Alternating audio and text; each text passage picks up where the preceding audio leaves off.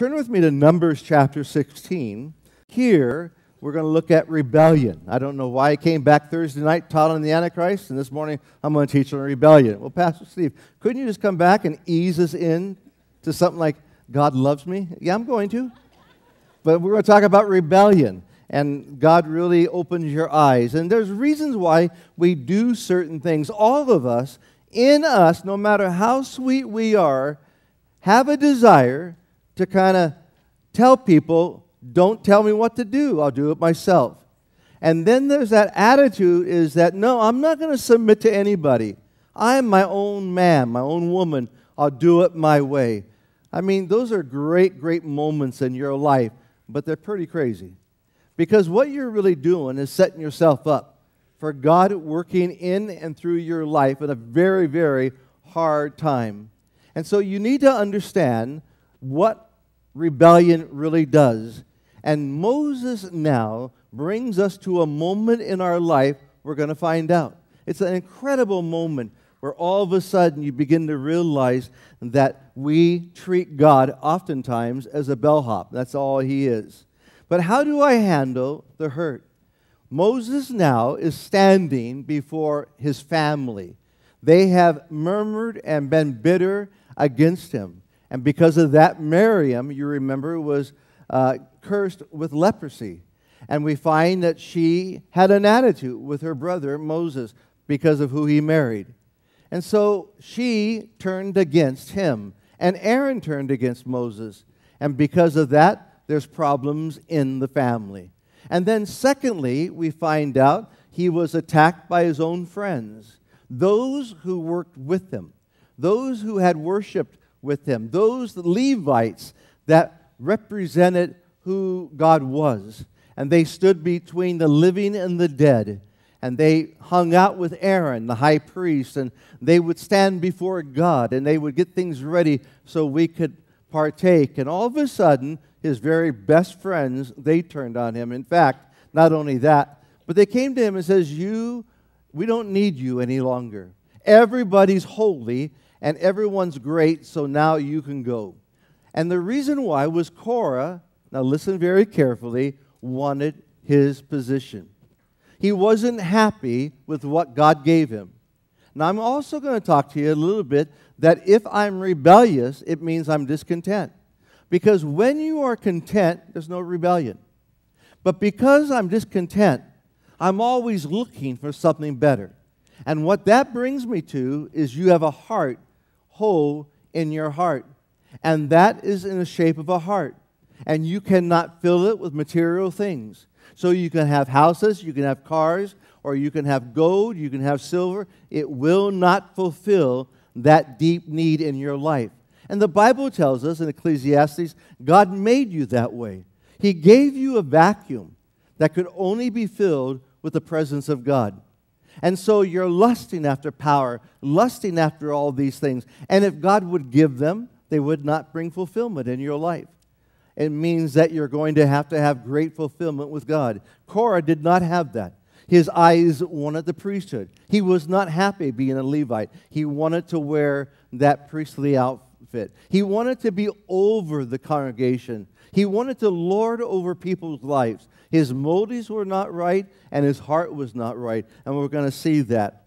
And also, we find very simply that he was attacked by the fellowship. Three million people every day murmured against Moses.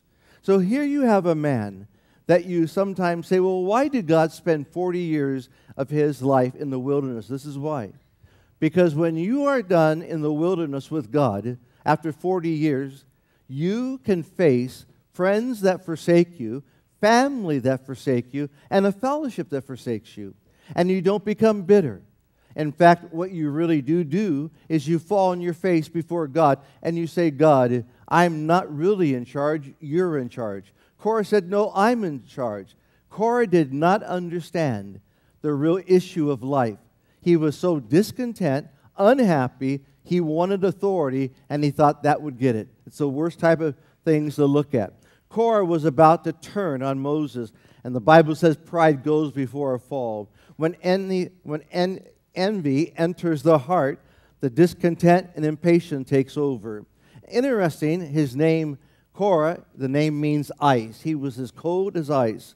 And so here we have these men were renowned. Not only did he turn the hearts of himself, but he also turned some of the family members of uh, Reubenites. And we also find that he was able to turn 250 men of the congregation that were renowned. In other words, these were not flakes. He had convinced them. And that is a very frightening thought. Because if you listen very careful to what the Spirit is saying, is that you can be sucked in. You can fall for the trap. You can begin to believe somebody because so and so said it. That's not and should not be the way you think. You cannot believe anything until you check it out.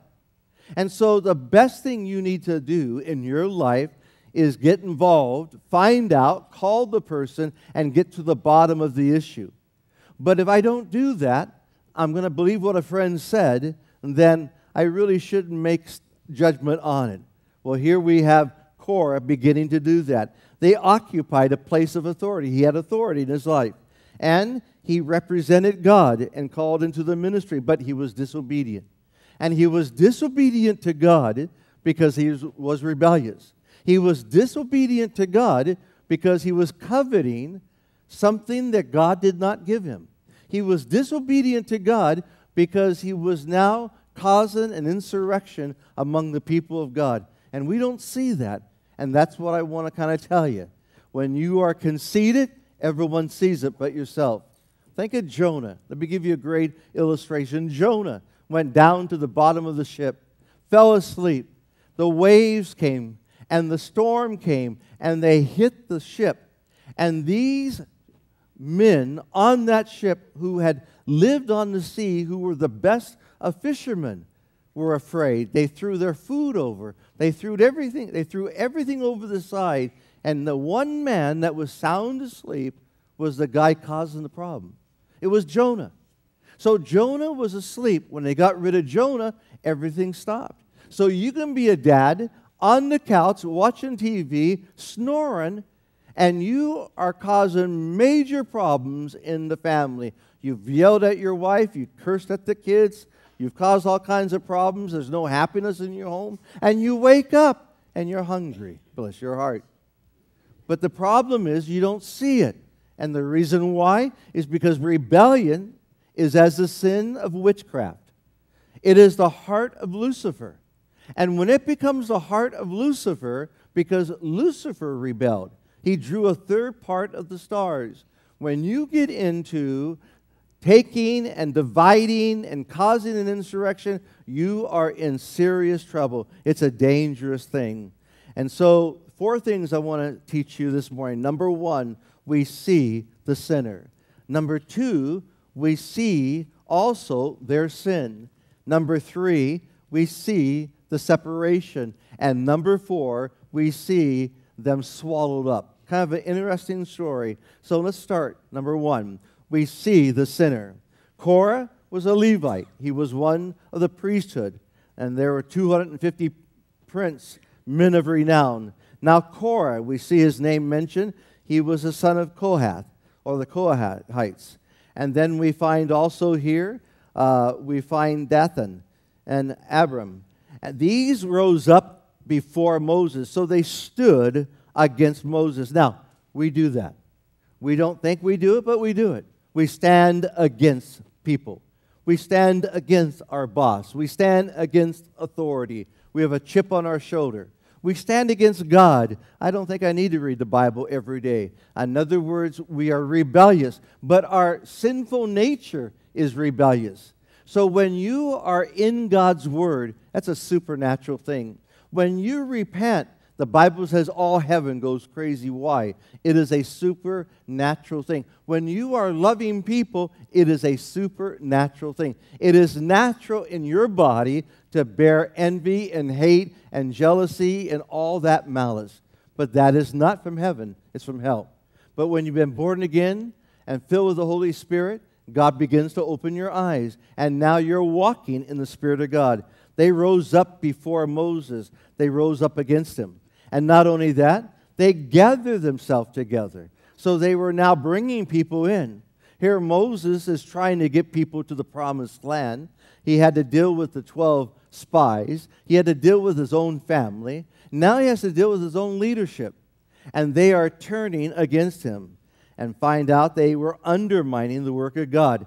Korah had a spirit of rebellion and also that spirit of slander and jealousy. Now, who else had that? There was a day that David slew Goliath, remember? And the Bible says they begin to sing a song a thousand to Saul, 10,000 to David. And here is an interesting thought. In one verse in the book of Samuel, it says, From that moment, Saul began to eye David. And for the next 15 years, Saul chased David, trying to kill him because a jealousy took over, because a rebellious heart would not turn to God. And when you look at rebellion, you have to take envy and jealousy and greed and uncontentment, and all that stuff goes with it. And so we see that. In Proverbs chapter 6, verse 16, it's on your screen, they were dead wrong. Proverbs 6, verse 16. These six things does the Lord hate. Yea, seventh are an abomination to him. So, seven things are an abomination. Number one, a proud look. Now, how do you have a proud look? I mean, I remember in high school, the girls used to, the girls used to say, oh. And the guys used to flip their hair, you know. I used to at one time. No more. But, you know, a proud look. to a lying tongue. It's just so easy to lie. Third, hands that shed innocent blood. Number in verse 18, number 4, a heart that devises wicked imaginations. You think things up. You build things up. Sometimes women are real guilty of just letting their mind go crazy. It, and you can kind of understand it a little bit they're, they're not cold, they're freezing to death. They're not hungry, they're starving to death. So, as high as they go is how far they go down. And so, sometimes Satan can take a woman and give her such a great insight, and then sometimes God can take a woman and lie to her like crazy, and she listens and doesn't know where to stop. And she needs to put a period on it and bring everything into the authority of God. And so a heart that has imagination, a mind, feet that is swift running to mischief, and a false witness, number six, that speaketh lies. And check out number seven, he that sows discord among the brethren. In other words, you're, hey, did you hear what so and so said? Hey, did you hear what so and so said? Hey, did you hear about that church? Hey, now wait a second. Should you be doing that? Put a lid on it. You don't need to listen to that garbage. You listen to the truth of Jesus Christ. What you can do is you can say, why don't we go talk to that pot guy right now? Or why don't we go get the girls together and talk to them? Let's get things out in the open. No, no, no, no. Why? Because they're not right with God. If they were right with God, they would seek to minister and go for it. And then in verse 5, Moses was a servant of God. He knew that God had anointed him. It says here in verse 5, he spake unto Korah and to all the company, saying, Even tomorrow the Lord will show who are his and who is holy, and will cause him to come near unto him, even whom he has chosen, will he cause to come near unto him. Now, here is a great point. I see the sinner. I see Moses. I see Korah. I see Korah lying. I see insurrection. I see pride. I see Moses talking to God, listening to God, seeking God, putting it in God's hands. I see Korah taking it and doing it himself. I see Moses giving it to God and asking God how he should do it. I see Moses, a man who was in absolute authority, asking God how he would do it. So he is now simply a messenger. He simply speaks for God. And I see a guy over here that wants all the authority so he can control whatever he wants to do. Now, who's right and who's wrong? You see, Korah was out of control. And sometimes we can be a Korah. We can have so much anger in our life that we don't do anything. We come to church, everybody loves us. And we can't figure it out. And we go home, we yell at our husbands, cuss them out, Or we go vice versa. Or we love God, we trust God, and then our kids run away and we just walk away from God. Now something's wrong. Because if you're going to walk away from God, give up on God, when things go good or bad, you got to make a decision right now. Good and evil come from God. So God might be testing you. The Bible says He put you in the wilderness these 40 years to test you, to prove you, and to see what was in your heart. And there's no other way for God to show you what's wrong with you and show me what's wrong with me except stick me in the hospital and stick you where He has to stick you. And there, God begins to get the truth out because now I'm focused. God, I need your help. And so I realized very simply, it's kind of cool. In Jude chapter 11, verse 13, or Jude, uh, no chapter 1, just verse 11 through 13. Woe to them who have gone the way of Cain. Interesting. Have run greedily in the error of Balaam for a profit and perish in the rebellion of Korah. So you're going to perish. So here I see the sinner. But second, I also see their sin. I see their sin. And notice their heart is evil. It says in verse 3 they gathered themselves together against Moses. Are you doing that? Are you getting together and turning on a girlfriend? Or are you getting together talking about people? Are you gathering together people to build them up or tear them down? You got to really consider this. Are you gathering people at the workplace and telling everyone how horrible your boss is? Well, I'll tell you what, you're going to get caught. That which you do in secret is going to be shouted from the housetop. And so you ought to make up a decision that is unpleasing to God. If you have a problem, you go talk to that person. And you be strong and loving, and they will respect you. And if you get fired, God will give you another job. But if all of a sudden you get fired because you've been gossiping, don't be telling me I'm being persecuted. No. You got fired because probably God fired you because you are not a witness for the glory of God. So he goes on to declare in verse 5 He spoke unto Korah and to all the company, saying, In the morning the Lord will show who are his and who is holy, and who will cause him to come near unto him, even whom he has chosen will he cause to come near.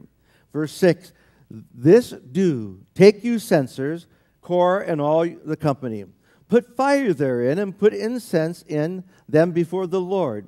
It shall be that the man whom the Lord does choose, he shall be holy. Ye take too much upon you. In other words, you are grabbing too much. You want too much. You are sticking your nose in places you shouldn't even be. You have so many problems in your own life. Why are you trying to help everybody else?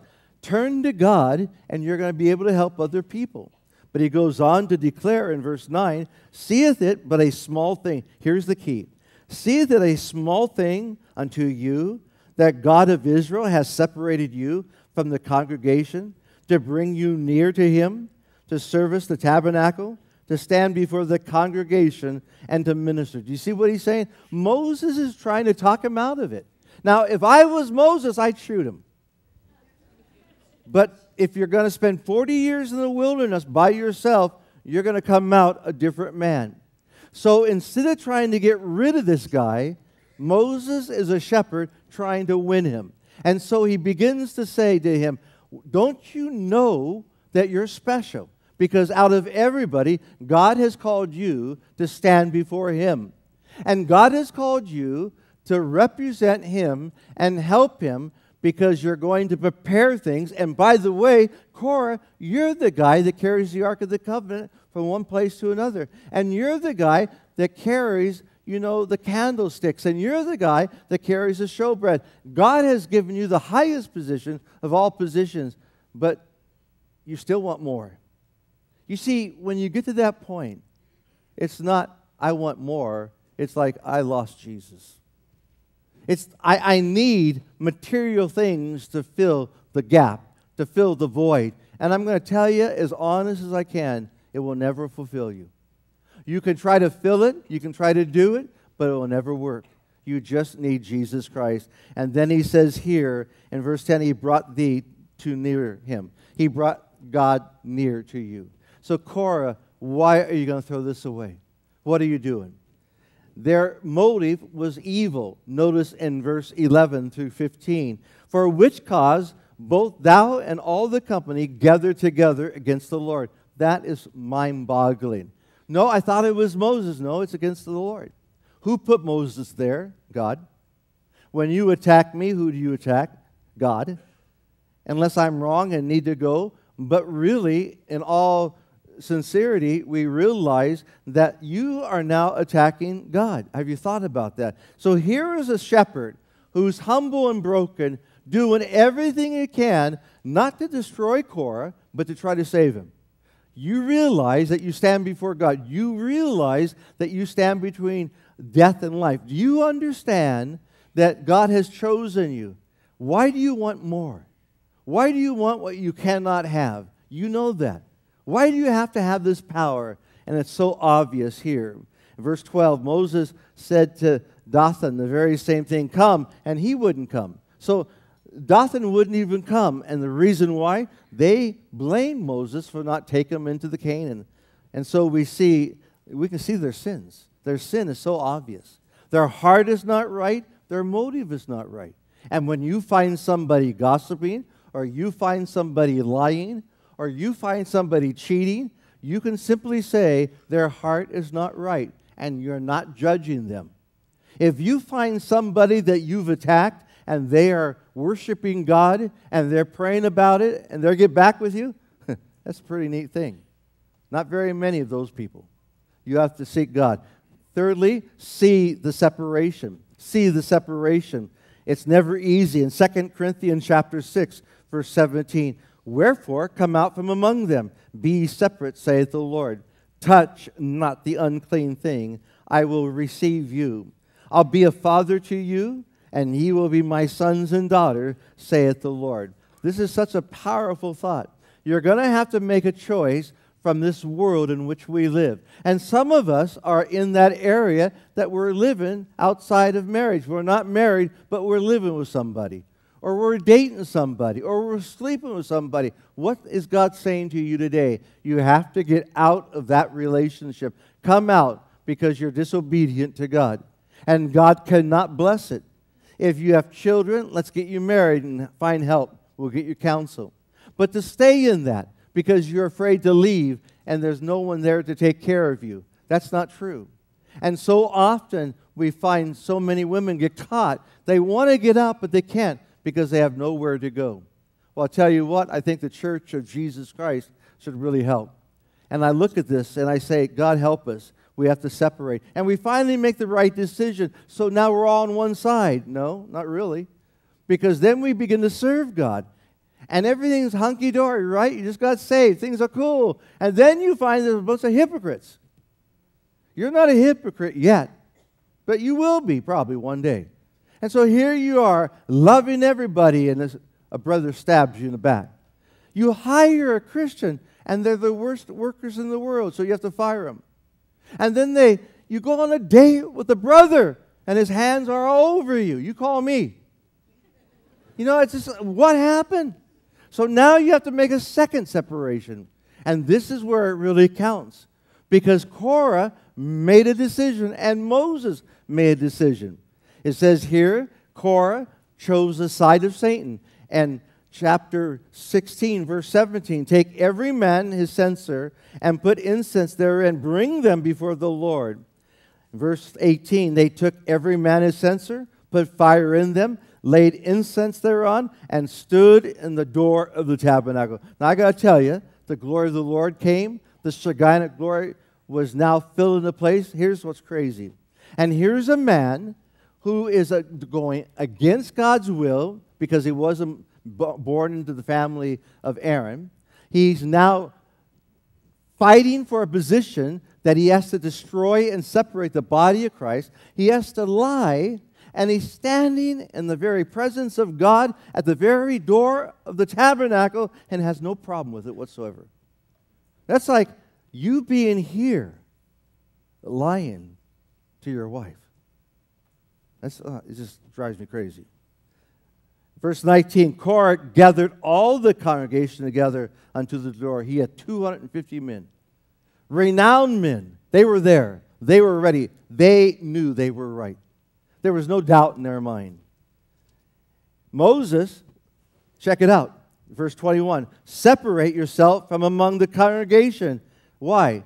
Have you ever said to somebody when they're not pleasing God, you kind of back up and say, Oh, I'm backing away from you? And they say, Why?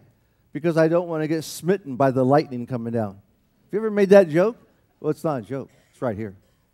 So they finally all come to the tabernacle, they're all ready, and God whispers in Moses' ears, Now, would you step away?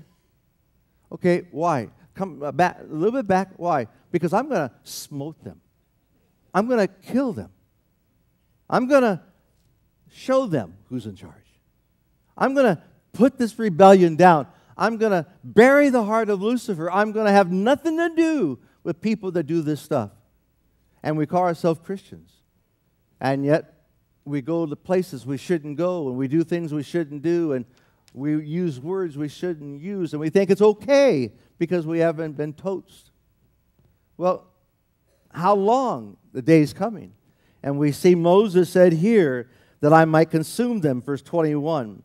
And they fell on their faces, Moses. And the Lord spoke to Moses, saying, Speak to the congregation, get up from among the tabernacle, Korah. And lastly, see them swallowed up. Check it out. We see here it was unexpected. Verse 24 Seek unto the congregation, saying, Get you up from among the tabernacle. Moses rose up and went. Verse 26 He said to the congregation, Depart, I pray you, from the tents of these wicked men. Touch nothing, lest you will be consumed with sin. Now, I do like this because God's given Korah a second chance. He's now saying to everybody, Get away from these men. He's very open and honest. So they got up, verse 27, from the tabernacle, Korah, and they went too, and their tents, their wives, and their sons. And Moses said, Hereby ye shall know that the Lord has sent me to do all these things. I have not done them of my own mind. Now, check out verse 29. If these men die a common death, or after I am gone and men rise up and kill them for what they did, then the Lord did not send me. But, verse 30, if the Lord make a new thing, and the earth opens and swallows them up, and they go down quickly into the pit, ye will understand these men have provoked God. okay, great. Verse 31 It came to pass, as he had made an end of speaking all these words, the ground opened up and destroyed them. I imagine God was saying, Get it done, speak a quickie, I, I'm ready to get rid of this. And the earth opened. And not only did they die, their children and wives died, and their homes were taken, everything was taken, and the earth closed back up. Now, that is a great way to solve a problem. Now, whose side are you on, by the way? hey, baby, Moses, you have been our man all the time. Nah. But what I want to end with a thought this tonight is that when I look at this story, I understand rebellion. I understand the heart of Lucifer. I understand that in your mind, you're right, they're wrong. They should call you you shouldn't have to call them. That you should not have to reach out, they should reach out to you. And I'm going to say to you, I disagree with you. Because if you're right, then you should be willing to reach out. And when you can no longer reach out, and when you can no longer make a phone call, and when you don't want to deal with those people, and you can write people off, I say your heart is not right before God and you better check it because the people you're mad at, they might have an answer to why they left you. They probably left you because of your rebellion, the absence of God in your life. So, rebellion is as the sin of witchcraft, it is the heart of Lucifer. But Moses, who was absolutely in charge, never stopped going to God. Korah didn't need God. Moses needed God. Who are you going to serve? Be careful.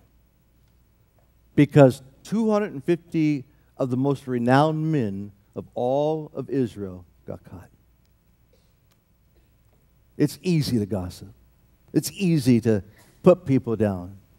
It's hard to be a servant of the Most High God.